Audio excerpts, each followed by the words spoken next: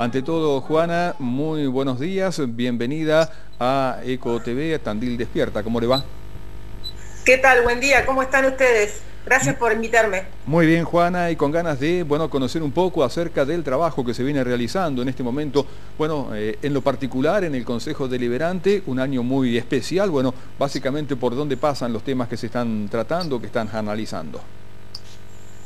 Bueno, a mí eh, cuando hicimos a principio del trabajo del Consejo eh, la asignación de comisiones, eh, estoy participando activamente en la Comisión de Producción y en la Comisión de Turismo, en la cual soy vocal.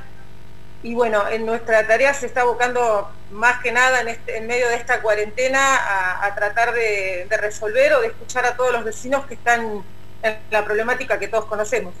Exactamente, y uno de los proyectos en los cuales estás trabajando, si no me equivoco, se refiere al tema eh, de los corredores turísticos. ¿De qué se trata?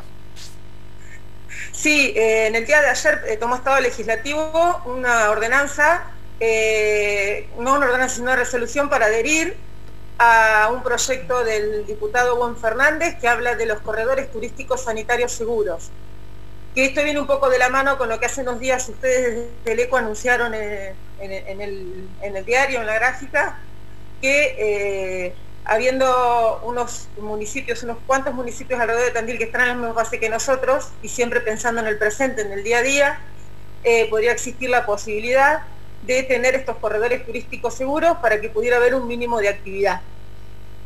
Correcto, y esto tiene que ver con el marco de la pandemia y también de alguna manera viene de la mano con algo que plantea hoy el diario y que está vinculado con bueno, el pedido de declaración de desastre turístico en la ciudad de Tandil. Esto ha golpeado mucho a un sector tan importante, ¿no? Exacto, por ahí no, nosotros no tomamos dimensión porque a veces vemos, vemos al turismo, algunos sectores eh, o no están en dentro de la ciudad y uno no sabe, pero en realidad el turismo eh, es entre el 12 y el 15% del Producto Bruto Interno del partido de Tandil. Tiene, tiene un, aporte importante en impuestos que son tanto de nivel municipal, digamos, a través de las casas, como los de coparticipación que vienen a través de nación y provincia.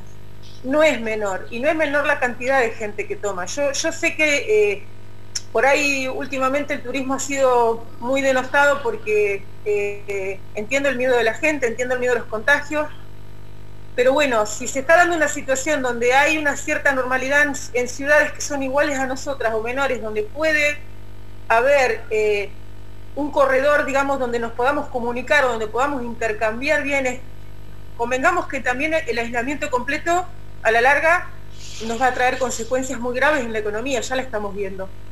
Eh, entonces, bueno, se trató de... Esto, bueno, igual nosotros presentamos la adhesión, pero esto depende de una adhesión pura y exclusivamente de la provincia, eso entiéndase, y de los, y de los protocolos que pueda aprobar Nación.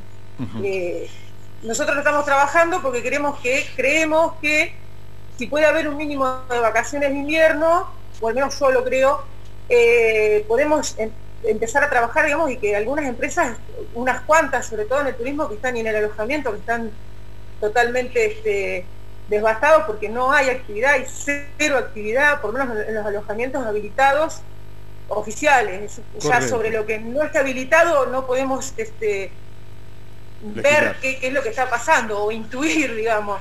Pero bueno, tratar de que, ese, de que ese sector tenga un mínimo de movimiento. Claro está que esto es en función de un día a día, en función de que la provincia apruebe esos corredores y bueno, eh, esperar. Juana, en su momento había habido alguna presentación para la apertura justamente de eh, distintos servicios turísticos, algo que fue negado bajo el argumento de la, del decreto nacional. ¿En qué perfecciona lo que en su momento se había presentado? Los protocolos en, realidad son los mismos. Fíjate que nosotros para hacerlo y lo hicimos desde el Instituto Mixto de Turismo, lo estuvimos trabajando conjuntamente con ellos y con la, principalmente con la universidad con la Facultad de Ciencias Humanas, en la carrera de Turismo. Y uno va viendo que los protocolos eh, que se fueron armando son usando también un poco el sentido común, cómo vos haces en tu casa, cómo yo hago en la mía, cómo yo recibo a la gente en mi local, que yo como por nuestra actividad esencial nunca eh, dejé de atender. Y bueno, y se van haciendo esas cosas y, además se van perfeccionando otras. Eh, como por ejemplo hacer este, el check-in de manera automática por teléfono y no tener que nadie te, esté en la recepción para que no tengas contacto con la gente, que la gente se aloje en una cabaña eh, y tenga todos los servicios para esos 3, 4 días que decida estar ahí aislado y sin, sin contacto con la gente. Hay muchas opciones. Eh, yo, y vuelvo a reiterar, entiendo que la gente tiene mucho miedo de esto y cada vez que ha habido una prueba, como se hizo la prueba acá de, Destino en tu Destino, que era simplemente que nosotros los tamilenses pudiéramos tener un fin de semana donde pudiéramos ir a una cabaña, de hecho algunos lo hicieron, eh, generó como cierto malestar de que puede que entre gente de afuera. Eh, la idea de esta es que en ciudades tan seguras como nosotros y probablemente hasta mejor controladas, si vamos al caso, pues son ciudades chicas, Ayacucho, Rauch, Juárez, son ciudades con mucho menos habitantes y con mucho, eh, por ahí más nivel de, control que lo puedan ejercer ellos entre los vecinos, podamos tener un mínimo de, circulación, que además ya te digo, creo que es necesario para toda la economía regional. Correcto, estamos conversando con Juana Chazarreta, concejal de Cambiemos. Sabemos que también dentro de los temas que está analizando hay varios que están vinculados con eh, lo que es eh, producción, uno de ellos eh, el uso, la ordenanza sobre fitosanitarios. En este sentido, ¿ha habido algún avance en este tiempo? bueno, habíamos empezado previo a, las sesiones ordinarias a reunirnos con los distintos sectores, después, bueno, por, por el tema del aislamiento social y todo esto no pudimos hacer, Recién ahora cuando empezamos con, las reuniones de no más de 10 personas, hemos tenido encuentros con el sector que pidió la banca 21 eh, para pedir la reforma de la actual ordenanza. Y eh, bueno, en esta semana vamos a tener una reunión con, representantes de la producción agropecuaria y ir teniendo un panorama para poder este, conjuntamente con la secretaria de Desarrollo Productivo Local y Vinculación Internacional y eh, con el director de de medio ambiente, llegar a una, a una conclusión de cuál es la mejor opción, que como bien dijo mi colega Maride, este, va a ser una situación en la que no van a quedar todos conformes porque no podemos ir ni tan para un lado ni tan para el otro, sino que tenemos que pensar en el conjunto de la sociedad para poder resolver esta cuestión. Muy bien, Juana Chazarreta, hablando de producción, bueno, hay preocupación en algunos sectores que tienen que ver justamente con rotura de cirobolsas a nivel nacional. Tenemos entendido que se han registrado algunos casos también aquí en la zona eh, del sudeste de la provincia de Buenos Aires y si no me equivoco en el partido mismo de Tandil. Bueno, en este sentido, eh, eh, ¿se está trabajando también con este tema? ¿Cuál es la postura al respecto? Sí, yo, bueno, por, pertenecer un poco también al sector, me comuniqué con Julio Pagola, que es quien está llevando adelante el, el foro de seguridad.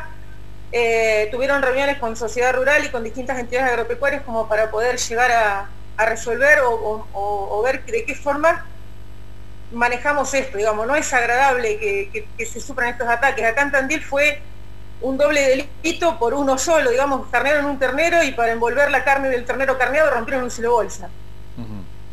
Fue algo que no se entiende, digamos, ¿cómo, ¿cómo llegaron a hacer eso?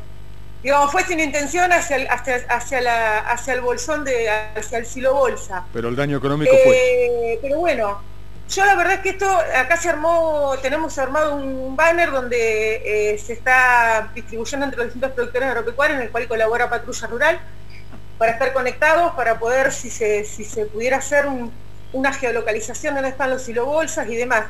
Eh, esto la verdad que es muy lamentable que esté pasando porque eh, yo les voy a pasar unos datos y si quieren un, cachito que lo tengan anotados en el, en el pizarrón. Correcto. El índice FAO, que es la participación del Estado en la renta agrícola, para el mes de junio, por ejemplo, en la provincia de Buenos Aires, dio que el Estado participa en el 69,7% del 100% de la producción de soja. O sea, de lo que, de lo que cosecha el productor, el 69,7% se lo lleva al Estado. Más de las dos El maíz el 65,4% el trigo el 67,8 y el girasol el 59. Esos datos de junio. Entonces pensemos que si estos ataques o quienes estén con ganas de realizar este ataque piensan que están atacando al productor agropecuario, están atacando al Estado, porque el Estado es el principal socio del productor agropecuario. O sea, se están haciendo daño a sí mismos, porque esas toneladas de soja o de girasol o lo que sea perdida, se pierde también la posibilidad de Estado de cobrar las retenciones, los impuestos y demás como para poder esa plata volcarla a los fondos de coparticipación de nación, de provincia y que vuelvan al municipio. Correcto. Esa cuenta creo que hay que sacarla. Bien.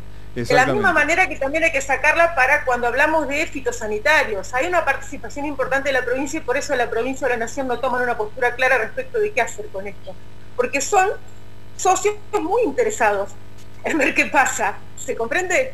Exactamente. Gracias por este análisis, Juana, que bueno, no lo habíamos realizado por aquí. Juana, eh, prácticamente en el final y fuera de, bueno, lo que sería la labor propiamente dicha del Consejo, usted sigue como prestadora turística, lo que es justamente la producción de chacinados. ¿Qué es lo que tiene ahí a sus espaldas? Algo que es muy vistoso, muy rico, que son finos, gruesos. A ver, contanos, por favor. Esos son los chorizos caseros que están ahí intentando secarse, que por el, clima de estos días este, la maduración está siendo muy, muy lenta, porque con el frío todo se atrasa, todo se aletarga. Claro. Eh, como la naturaleza misma, digamos, acá también la naturaleza se produce y se aletarga.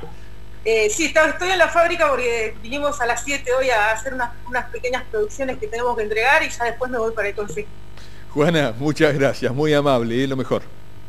Bueno, bueno, gracias a ustedes. Juana Chazarreta, gracias por conversar con la, con la radio, con el canal del ECO. No sé si hay algo más para acotar. ¿Juana? No. Bien, adiós. Bien, Juana Chazarreta.